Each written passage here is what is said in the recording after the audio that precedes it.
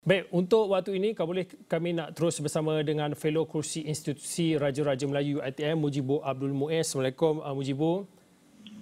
Waalaikumsalam Fauzi. Terima kasih kerana uh, uh, sudi untuk uh, meluangkan sedikit masa pada waktu ini walaupun uh, difahamkan di kawasan Mujibu juga terjejas uh, gangguan berkala elektrik. Harap-harap tiada juga uh, gangguan uh, uh, berkala elektrik uh, berlaku di parlimen kerana untuk hari ini cukup penting dan juga hari ini dan juga esok sebenarnya apapun dan difahamkan perbahasan berkaitan dengan RU anti lompat parti itu akan diteruskan uh, disambung semula pada jam 2.30 petang nanti.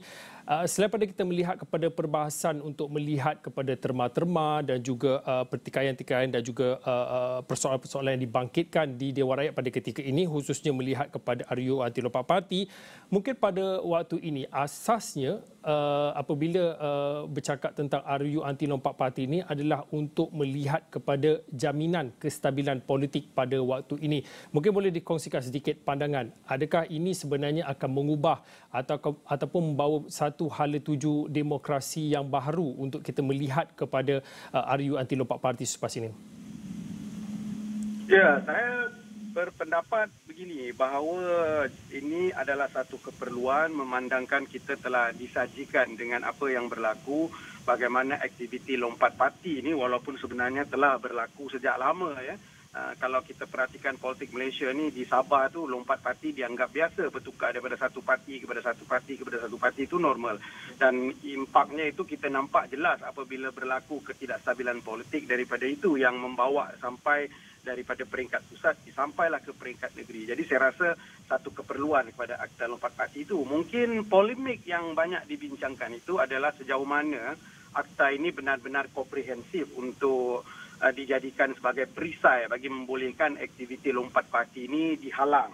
Uh, walaupun uh, ada perdebatan yang mengatakan barangkali akta lompat parti ini uh, tidaklah uh, komplit untuk menghalang aktiviti lompat parti uh, memandangkan ada ura-ura yang menyatakan juga uh, bagaimana kalau ianya dilengkapi dengan akta recall ataupun uh, apa uh, akta pemecatan ahli uh, ahli dewan dewan undangan negeri ataupun ahli parlimen itu ya memandangkan uh, ada loophole di situ ya. Sebagai contoh kalau mereka itu melompat parti secara en bloc beramai-ramai seperti mana yang berulang dan berlaku ketika langkah Sheraton ya beramai-ramai menukar sokongan ataupun bagaimana status kalau ahli politik ahli politik itu dipecat daripada partinya. Jadi ini mungkin boleh diselesaikan dengan akta recall. Tapi secara umum saya berpandangan bahawa uh, memang kita harus bermula di satu peringkat maka yang patut kita mulakan itu dengan membenarkan akta lompat parti ini diluluskan.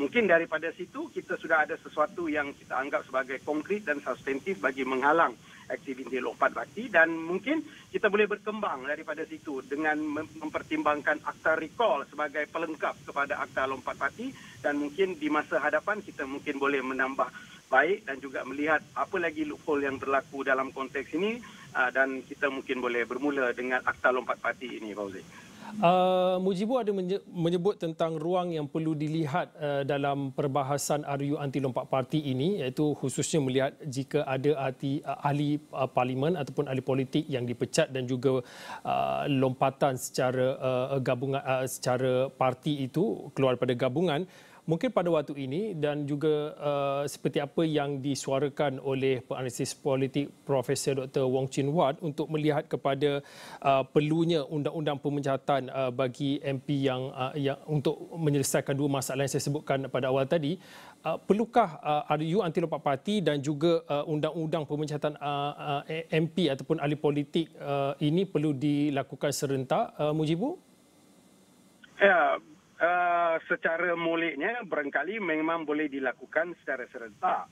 Uh, kerana perbahasan tentang RUU ini bukan saja melihat kepada uh, akta lompat parti tetapi juga loophole-loophole yang berlaku dalam akta itu yang barangkali uh, tidak uh, sampai kepada kalau uh, yang seperti mana yang dikatakan Pak Uzai tadi ada ahli wakil Dewan Rakyat itu yang dipecat oleh partinya macam mana yang berlaku ketika Tan Sri Muhyiddin Yassin dan juga Datuk Seri Syafiq Abdal di dalam UMNO ataupun uh, berhijrah beramai-ramai secara en bloc, secara pakatan seperti mana yang berlaku uh, ketika langkah Sheraton. Jadi uh, dan juga kita lihat bagaimana ketika perbahasan uh, akta uh, lompat uh, anti lompat parti ini disertakan dengan uh, cadangan supaya adanya uh, akta undang-undang pemecatan uh, recall election itu yang dicadangkan oleh Datuk Seri Azalina.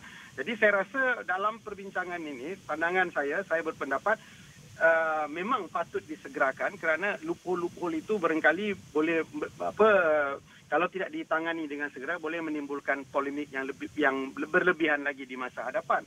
Tapi secara umum saya berpendapat kalau dalam tempoh uh, dua minggu persidangan uh, parlimen pada ketika ini yang saya rasa singkat dan saya rasa pada uh, mesyuarat ketiga nanti pada bulan Oktober itu barangkali akan dihabiskan untuk uh, perdebatan perbahasan bagi uh, belanjawan 2023 maka saya rasa mungkin saya berpandangan untuk permulaan mungkin kita boleh bermula dengan akta lompat parti tetapi pada apa nama ni uh, masa hadapan kita boleh mempertimbangkan untuk melengkapkan akta tersebut dengan uh, mempertimbangkan untuk apa meletakkan akta pemecatan ataupun recall election ini sebagai sebagai cadangan masa hadapan.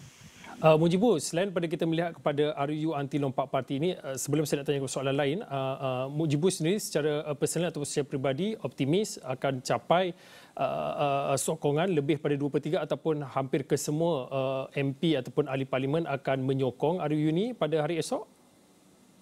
Yalah. Uh, saya melihat begini ya, kadang-kadang suara-suara nakal di luar itu mengatakan uh, agak sukar untuk apa tu barangkali menyatakan kata-kata yang melompat itu mau menyokong akta ini.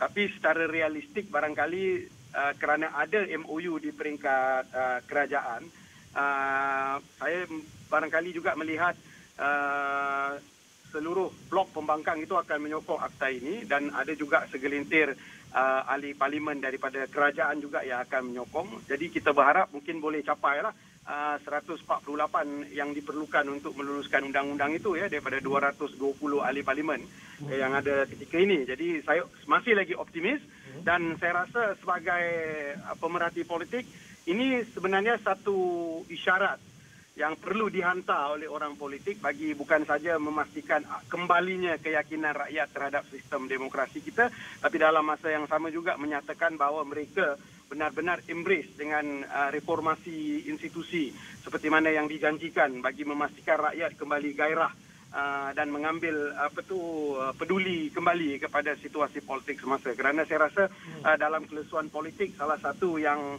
menjadikan kelesuan itu berlaku ber, disebabkan adanya persepsi bahawa ahli politik sudah semakin tidak dipercayai baik parti A parti B uh, mereka tetap sebagai pemain politik yang sifatnya oportunis jadi saya rasa kalau ini tidak di, di, diambil peluang oleh 220 ahli parlimen itu maka saya takut uh, kelesuan itu akan semakin parah dan kita akan menyaksikan uh, demokrasi kita semakin lemah dan lesu di di masa hadapan.